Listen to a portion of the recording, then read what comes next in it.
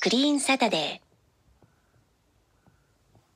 数ヶ月で TOEIC スコアアップも目指せる。ビジネスで生きる英語は ECC 外語学院。ECC ー2時です。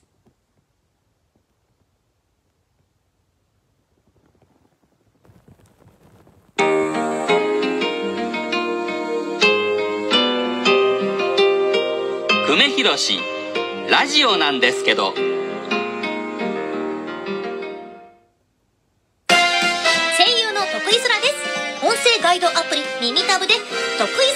オカルト探検クラブが好評配信中。月刊ムー編集長の三上竹春さんを助っ人に迎え関東のオカルトスポットを大紹介。未知との遭遇へ出発進行。TBS ラジオクリーンサタデー。Clean Saturday. ゲス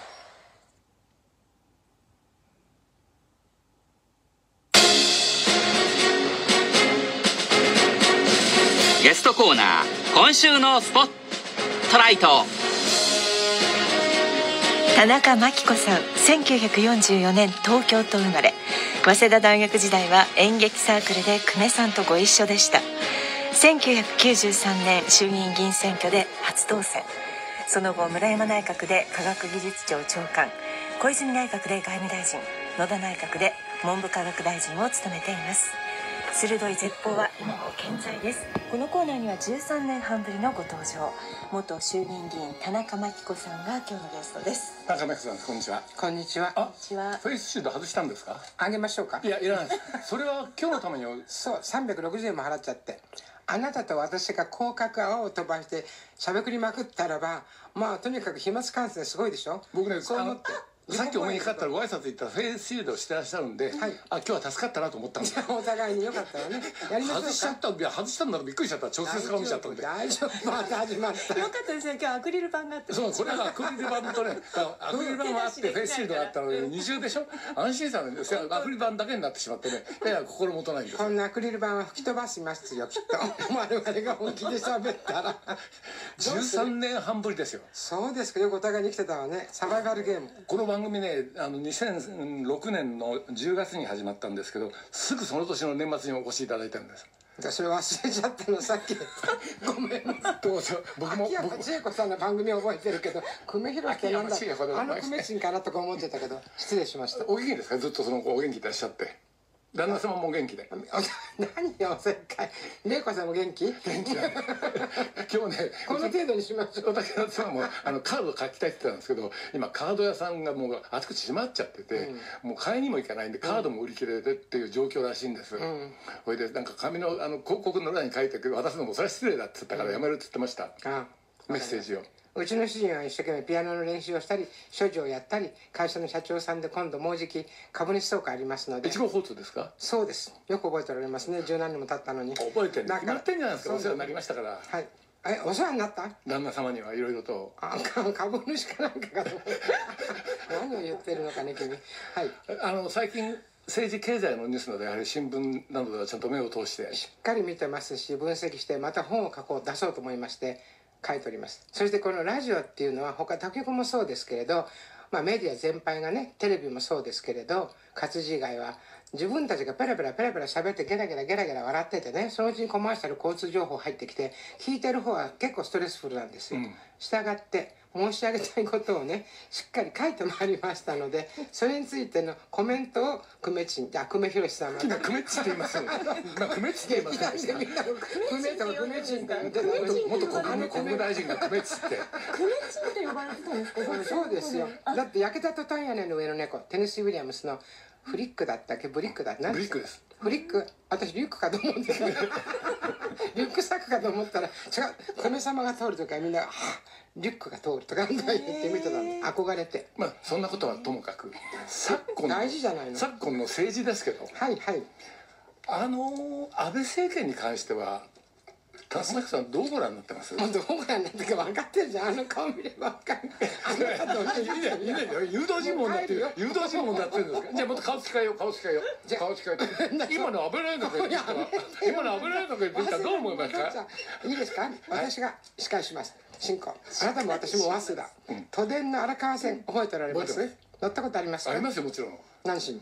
何しに取材でももう僕都電の荒川線ラジオの世界にとっては都電の荒川線って宝物ですから何回もあの音もといいね周りの街並みといいあれはラジオにとって宝の前ことあります。うん分かった。それで5月にこのパンデミックの後主人とやることないから乗った箕輪橋まで1時間何分？お宅夫婦でやることないとやることない都電都電荒川線乗ってん だ取材に来ないで都電にちんちん。そうしたらね時速私一番前と思ってもう喜んで座ってて運転手さんが車掌さんからにね「時速どうだ?」って言ったら最高40キロですって、ところが駅から駅が近いから10キロなんですって。はところが今の旅客機にしても新幹線だって200時速250キロか300キロ出ますんでしょ、そういうものに慣れてるそれから旅客機だって調べてきたけど相当のスピードが出るんです時速1000キロぐらいのものが出てる。普通のジェット旅客機ですよ。それからその戦闘機に至ってはマッハ2.5、要するに音速の2.5倍、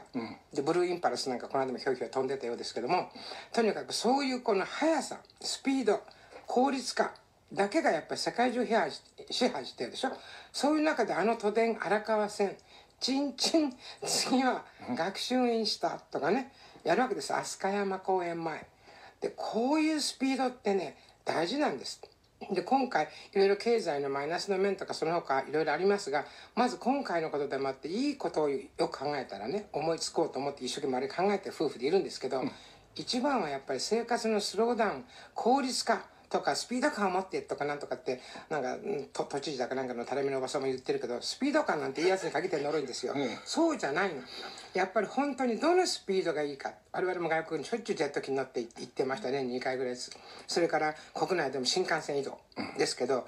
あの都電捨てたもんじゃないんですよね。よーく観察できるし考える時間もあるし気持ちが落ち着く。毎日都電乗ってりゃいいってもんじゃないんですけれど都電乗られてそれはそうだ、うん。今日はちょっとお尋ねしますけど、はいはい。ほとんどアドリブ抜きできちんと考えてきたその原稿通りに話を進めていつまでのいつものその田中真彦流ではなくてなんて言いますかこ講演をやるような感じで30分話をしてスッとまたフェイスシールドして帰るつもりですか？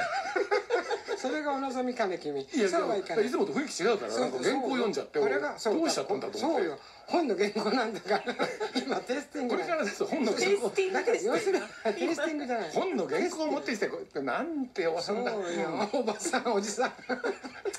それで荒川線わかりました。だからどとにかくだからこういうことによってやっぱ空気もきれいになったし青空で。であのグレタ・トゥーンベリちゃんが言ってたみたいに二酸化炭素、CO2 の排出量。減ったんですね。減った。これ経済の効率化と非常に関係があるし人が忙しく移動すると、そういうもうとにかくピークの状態に世界中がなっていたと思うんです効率優先それが少しこう止まらざるを得ない状態になってきたことによって見えてきたものっていうのはやっぱりクオリティオブライフというか人生の価値とか、はい。生きるというのはどういうことなのかと。いうこと。それと経済効率もあるし世界との人の暮らし方、そういう人に配慮をすると。いうことについてみんなそれぞれに誰でも気が付いてると思いますよ。一人になってうちにいないし余計考えたんですみんな。そういうことを。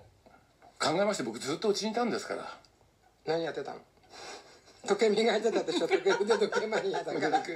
腕時計腕時計磨いてた。し原稿通り言ってくださいよお願いしますよそうじゃないわよこれメモ書きですよ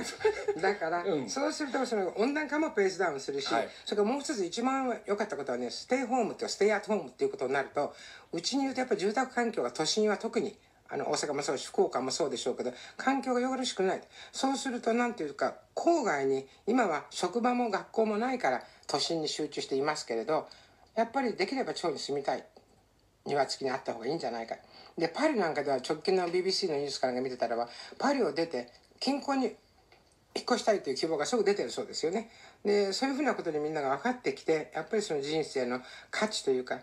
人生い一回しかない人生どう生きるかということについて自分は何をどうするべきかと。今までは断捨離して物捨てればいいんだとかデパートがオープンしたらさあ走ってって買ってこないかと。買うものなくても走って行ってくると。そういうふうなことが本当に必要かどうかと。あのね居酒屋さんとかバーで東京で経営している人だって家賃が大変だって話がテレビでそうです。ものすごいニュースやってたんですよ、はい。あれ地方の方が見てたら、えびっくりしたと思いますよ、猫の死体のようなバーで月100万以上の家賃なんですよ、うっそーと思ったに違いない地方の人が日本中で大勢いたし、はい。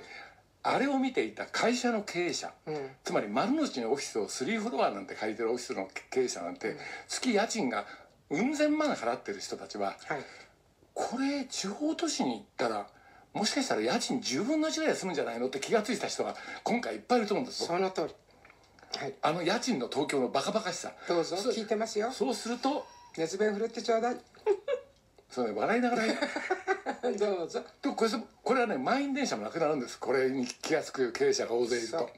だから気が付いてね一歩踏み出してもらいたいんですよ。そう。だから踏み出せるようなインセンティブをね、国が与えなきゃいけない、それがやっぱり国の財政の問題であるしどうやって税金を使うか、今日あたりも第二次補正かなんかねべらぼうなこと言ってますけど、やっぱりあの政治が結局方向性とか政治は何のためにあるか人間の人生はどうか外交もそうですよ、そういうことをねグローバルに考えて政策立案を役人にしっかり任せたらね優秀な人たちは動く。今どこの官庁もキャリアの私っていう人たちが話してもみんなやる気なくしてるの。それは聞きたいんです。僕ね日本の役人って優秀だ。政治家はダメだけど役人が優秀だから日本はなんとか霞が関で持つんだって言ってたら最近の霞が関のひどさったらないじゃないですか。そう。どうしたらね急にひどくなったのなかったのは上が悪いから政治家が悪いから。誰？決まってるじゃないですかあなたお答えなさい。どうぞ。政治家が悪いとやっぱり官僚はダメですか？うん、だから政治の組織の問題ももうご検察の通りだけれども、でもこれだけねあの役人たちは全員があ優秀とは思いませんけどやっぱりキャリアでそれぞれのポジションについてる人外交官でも本当に引退した人たちがね聞いてると現職の時は言えなかったことかもしれないけどやっぱりもっとし政治と政官は離れてなきゃ距離を持たなきゃいけない、それは基本であるけれども政治が何もその指針を示さず責任を取らなかったら誰が役人じゃなくたって仕事をするかと民間でも。こういう意見聞きますよ。ですから要するに結論がから言っちゃえば今の政治のシステムね選び方全て変えなきゃいけないし中央だけじゃなくて地方もいっぱいお金もらったわけのわからない人たちがですね今の自民党なんてもう結論あなたが一番おっしゃりたいことでしょうけどお金で動いててですね誰が金権政治家だなんて批判してたの今やってるの一番金権のばらまきやってるじゃないですか。だから僕よくわかんないのはねそのよくわかるわ私。継続化基金なんかその。あなたまだわからないね。ばらまきをねなんで電通が引き受けるかがわかんないんですよ。そうでだ僕が思うんや電通ってのはオリンピックがなくなっちゃったんで今年。ものすごいお金が入ってこないんです。もう大量なあのお金がね電通には流れ込むはずだったんです今年、でそれがなくなった分を穴埋めしてんじゃないか自民党は。それであの何千億円か何百億円が電通に下請けにして電通はまた下請け出すってこれじゃないのって僕は思ってるんですけど誰もそれ言わないんですよ。それあなたおっしゃったじゃないですか。だからだって一民放で電通の握手言う言う人なんかいないですもん。僕ぐらいしか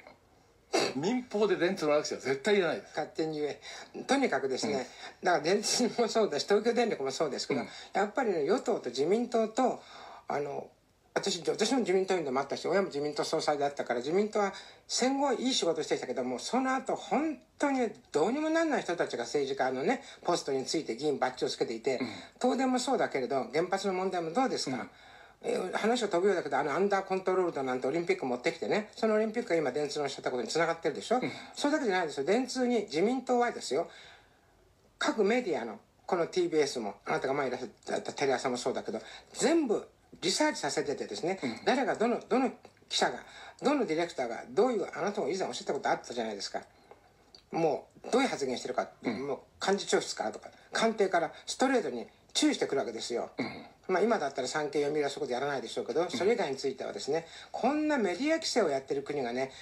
どこにありますか、他にもちろんありますよ中国にしろソ連にしろアメリカだってやってるわけですから、でもちょっと外交の話になりますけどこの2つの国は特殊でね今ちょうどこれが起こる前は本当にナショナリズムとそれからそのグローバリゼーションのせめぎ合いでもって外交です。中国とアメリカがあんな見えやすい形で戦って揉めていますけれどその真ん中で日本は何やってるかっていうと本当にアメリカの51番目の州ポチになってて、何でもとにかく、まあ、安倍さんもそうでその前の小泉さんもみんなそうだけどとにかくアメリカ大統領と会うとニコニコしちゃってねゴルフ場のグリーンでもないのに何でも OKOK 向こうから言われたら何でも OKOK って言ってるでしょ。でこれはね国益を損ねるし外国からバカにされることなんですよ、でこの2つの国がどれだけ特殊かってことをもう一回おさらいした方がいいと思うんですけど、私アメリカに高校の時代に留学していて本当に良かった。と思う理由はアメリカの高校生ティーンエイジャーと一緒にアメリカ史を学んだんですよ、はい。アメリカ独立は1776年1776トーマス・ジェファソンって習いましたから、その前の60えー1620年がメイフラワー保護がついた、はい。すなわち建国から244年しか経っていない。それいい悪いじゃないの。そしてその後に今この奴隷貿易の問題今あの人種差別の問題言われていますけど、南北戦争があってこれだって完全にこの人種の問題ですよ。奴隷制度でしたからね。そしてリンカーンが出てきて暗殺されて、次は直近ではマルティン・ルーサー・キング牧師が暗殺されて、そしてオバマ大統領が出てきて、これだけ歴史244年ポッチの中でいっぱいあって今度はジョージ・フロイドさんの事件があって、だからアメリカのね言ってみれば宿話っていうかあの国の根底にあるのはあの国が建国されてからねもう奴隷貿易っていうのは13世紀ぐらいですか15世紀ぐらいからかずっと19世紀まで続いてたわけです、世界の三角貿易で、イギリスアフリカアメリカというご存知の通り、はい。早稲田で習いましたね。習いました。僕もねはいはい。一緒に習いました。あ一緒に習いましたね。学部違うのになんでだろう、まあどうでもいいや。それでですね、そういう形であるからあの国の伏線宿は国のもう宿命というかね、アメリカという国はそういう国なんですよ。そしてしかも時差が4つあるんですよ。で大陸の中で4つあって、アラスカとハワイを入れたら6つもある、そしてあれだけのいろんなあの移民の国ですからね。メイフラワー号で来て以来、だから行かればお分かりの通り、まあ、ご存知でしょうでイタリア人のあのセクションオランダ人のセクションチャイニーズと、みんな出身私の行った学校ジャーマンタウンフレンズジャーマンでしたよ、だからそういうふうにでアメリカのあのこ学校の校歌はドイツ国歌でしたよ。最近ナチの時の絵だからっつってやめました。この間学校に呼ばれたでスピーチに行った時に校歌歌おうって言ったら今歌わない。ってあれナチの国歌だったからと。でもジャーマンタウンフレンズだから声かけ教なんですけどね、そういう歴史をすごく引きずってる国で。で時差が一つの国でね6つもある国なんてありますか？世界中で、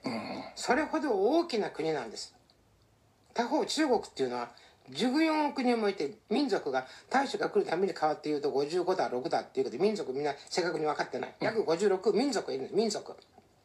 アメリカで行けばそれこそイタリア系とかオランダ系と同じように。まあ漢民族でぐらいしか知らないですからねカンカンは漢ですからまず。そうそうです。カンなことじゃないですよ。知ってます知ってますか？あの56民族。今田中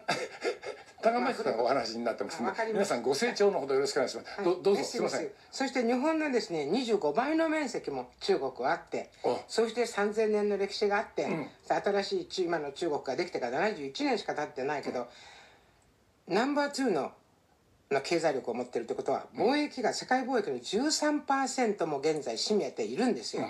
だから武漢でウーファンと中国語で発音するそうだけど、武漢で出た出ないとかそれをまずいもう分析する必要あるけれどこの国との輸出貿易をどうやってやっていくかってことは世界中が知恵を絞ってるんですよ、マクロンだってメルケルだとトランプだけじゃないですよ。ちょっとお茶飲んでいいですか？ダメ。どうぞ。従って。はいどうぞ。美味しかった？美味しい。ですからねだアメリカはその奴隷制度人種問題がもうベースにある、他方中国はね1989年の天安門事件がある民主主義。これがもう伏線に常にあるんですよ、共産主義と民主主義。国民がネットで賢くなれば世界に行ってくれば人との交流が増えれば増えるほどそういうことに目覚めてくる、そういうすごい矛盾を抱えた超大国が日本の西と東にある、結論から言ったら日本はもっとアジアの伝統のある国ヨーロッパの小さくて日本と状況の似た国ともっと緊密にね交渉ができるような独立した自分の足で立てる国家にならない限り、どの政党が誰が指導者になってもいいけれどそれを目指さない目指さないとダメです。立ち行かない。そのぐらいのことは安倍さん分かってないんですか？分かってないでしょ。どうして？えあまりこうじゃないから。勉強してない。なるほどね、すごい同感します自分で言えればよかったね。そういうことです。まあ複雑回帰ですよね。本当のアメリカのことってこういうデモが起きるとああそうさっき「宿」だって言葉が出ましたけどね、はいはい。本当にその通りだと思います。ずーっとそれでな南北戦争もそうだし今のずーっとこの時代やってるんですか？らそう。大倉大臣宿話なんて書けるか読めるか。あの無理でしょ。あの財務省財務大臣は無理でしょうね、マスクふがふがするだけでしょ。総理も無理でしょう、うんですからそういう中でねまあこういうコロナが起こっている中でですよ、とにかく世界中が制度も様子が確実に変わるわけです、もうこれだけ経済がシュリンクして減速しているしそういう中で何に配配慮をするかって言ったら環境問題であるとかね。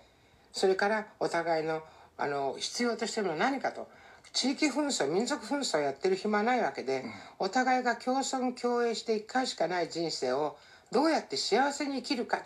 人生一度しかない、そこに為政者や国民の目が行けば経済もそこで考えが変わってくるはずなんですよ。だからこれはね私天が宗教家じゃないけど天が与えたやっぱり自然破壊をして効率効率効率と人類がやってきた結果やっぱり気づいた気づかされたさ気づかさせられた事柄だと思うんですよ。あのもうあまり時間がないんですけど日本の政治だってこのまんまじゃどうしようもないんですけどどうなっていくのがいいかっていうのはこれは難しい話ですけどとりあえずどの辺から変えていったらいいんですかね？私は今のいる人たちには期待できないしだから制度を変えなきゃいけないけれどその先で私がずっと考えていることはやっぱり経済なんですね、財政再建でしょ？GDP の2倍ものあ借金があって国債発行が897兆円もあると、こんなことでねいいわけないんですから、はい。で孫子の代につけとかそんな悠長なことじゃなくて我々の代でも破産してる状態ですからね、でその中でもどうやって国も自あの地方自治体もですけどあの公的金融基金を投入して今はとにかく零細企業を助けなきゃいけない社会的に潰れないようにしなきゃいけないでいっぱいばらまいて、第一次第二次補正予算もやってる。でもそれはそこを尽きることだしもっと借金を増やすことなんだからむしろどうやってこれを止めるかって言ったらやっぱり歳出の無駄の見直しなんですよ。国と地方の議員たちの定数とか大軍とか歳費待遇ね、これを改めたらいいんですよ。自分で自分の首絞めない人たちなんか議員なんかやらせなくて結構地方の県会議員も市会議員も知事も何でもかんでも、もらいすぎですよ。それから政策で今ので言ったら私絶対ね防衛費だと思います。アメリカ製の武器購入。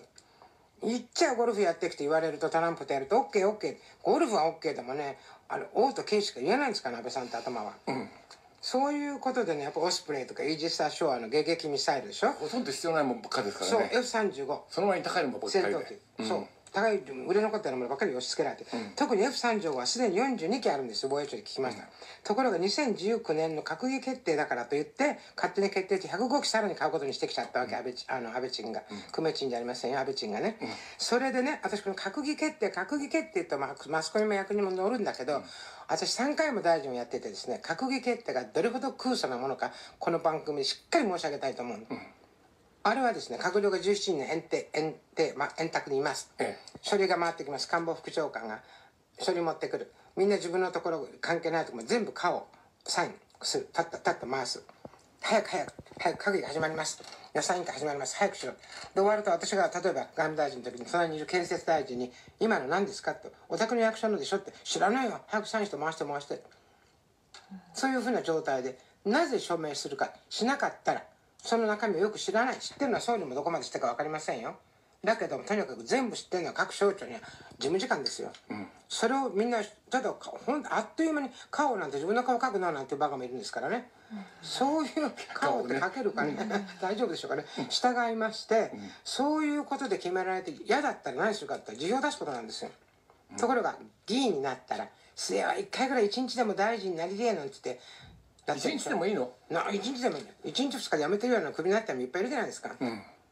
ねでも一応やったらこことになるから。そうそうそう。ななりゃいいってもんじゃないんですよね、だけどもやっぱりなりたいと。で例えばですね今年の1月のことですけど黒川って人のね、はい。検事長ですけど、はい。定年伸ばすってのは閣議決定なんですよ。だ今年の1それも月それもガーって回ってきた中でなんかわかんないけどいろいろ書いた。それはあのもうルールで決まってたんだけどそれの解釈を変えたと総理大臣は言ってますけど、はい。はい。あれ閣議決定で変えたって言ってるんですよ、はい。黒川のて定年委員長は、はい。あなんかもうみんなほとんど知らないわけね。知らない。八百長。だから私の閣議決定なるものはね、もっとだから逆に言えば大臣をははあの拝命受ける時に、まあ、陛下の前に最後は行くんですけれどね、その時に、ね、どんな省庁か自分の問題意識はこうだけどこれでいいのかと総理と話を詰めなきゃダメですよ、言われたらありがたいやぶしいみたいなこと言っちゃってね。それでなるから F35 だってこんなにあった102機も105機か買うこと追加購入について閣議決定って、F35 ってなんだべみたいな話でしょ、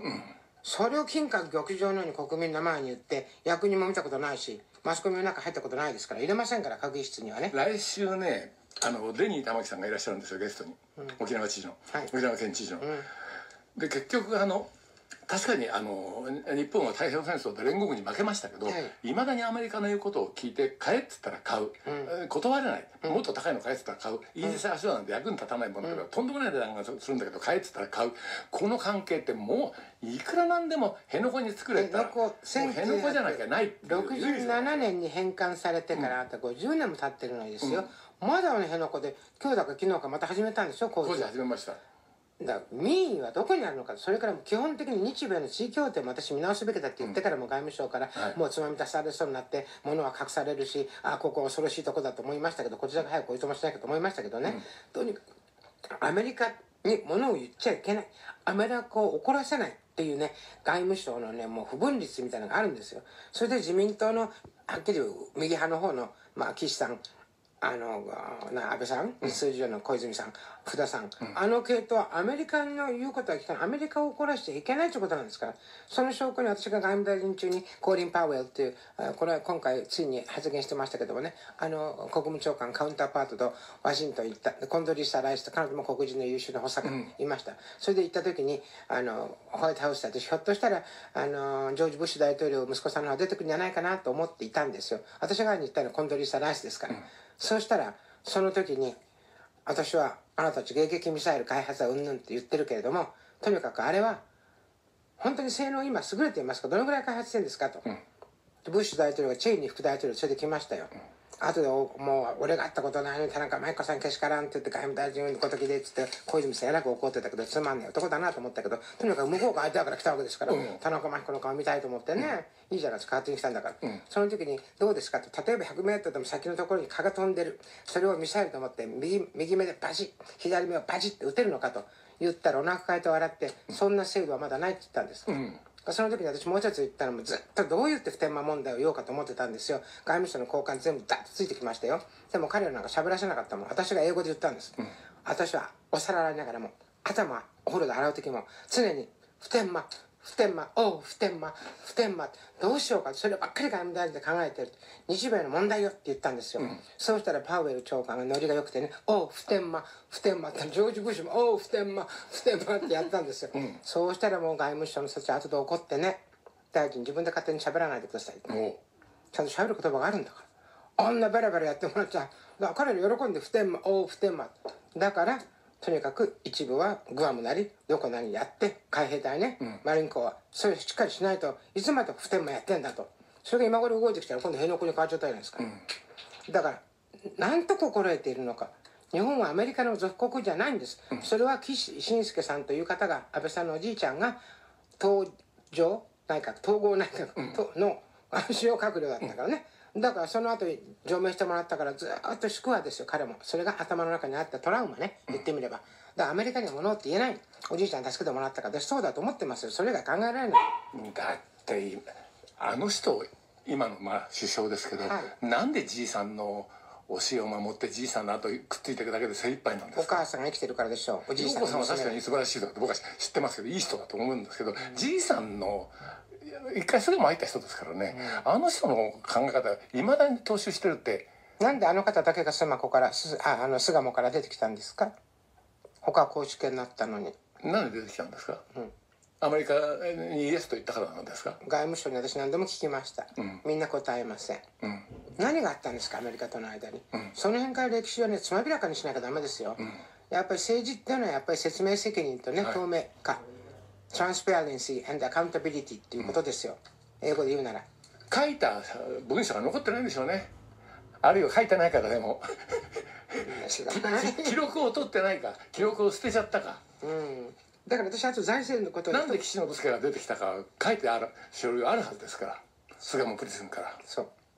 調べましょう、お互いに。それからあとはね税収について私これどこでお金持ってくるかって無駄をやめることはもちろんですよ。さっき言ったように無駄な銀とやめさせるとかそんな、だけどもう一つはね炭素税ね。これ完全にその二酸化炭素 CO2 の問題は今後にはどの企業もやっていかなきゃいけなくなるから、炭素税をかける。もう一つはネット社会にこれだけ進んでていい意味でも悪い意味でも、これはもうデジタル課税をやったらいいと思う。主人と私と毎日毎日どこで税金を取るかなと。父がよく言ってましたよ。自動車モータリゼーションになる時にね車にねかけるんだと一家に一台車が必ず持つようになると戦後言ったんですよ。父さんが？うちの父が。車一回一台まずんだからダ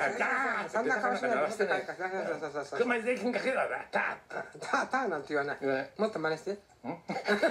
た後でやろう。なんかうんそれででですね、あのそれでその後今度高速道路を作るわけですよ、で政策誘導してるわけですよ、そうすると車が買うとどこか行きたくなる。高速道路に乗る、そこでまた自動車重量税とか高速道路かけるわけ時代の先を見てね課税をするってことを考えたらこれからデジタル課税みんな意外に知らないですよ。田中角栄さんがね議員立法を100本以上通してるってことね。知らないです。あなたと私しか知らないのね、で金融取引ですけどね、はい。今大企業になった内部内部留保があるでしょ、今のなんか垂れ目の都知事のなおばさんがなんか内部留保を出してもらったらどうかしらなんて前言ったけどあなた分かってるのかと会社の経営もしてないのととにかく日本の企業は儲かってる企業はね給料を上げずにね内部留保をために貯めてまだしたかかららそれをね金融取引に回すように政策誘導すればいいんだけれども、分かってる役にいるかいないか私はそう考えてます、これをやってやっぱ大企業から吸い上げる方法あると思うんですよ、そういうふうなことをいろいろやるやる知恵を出せばね考えるはあるしそういうことは役にも誰でも学者でもメディアでも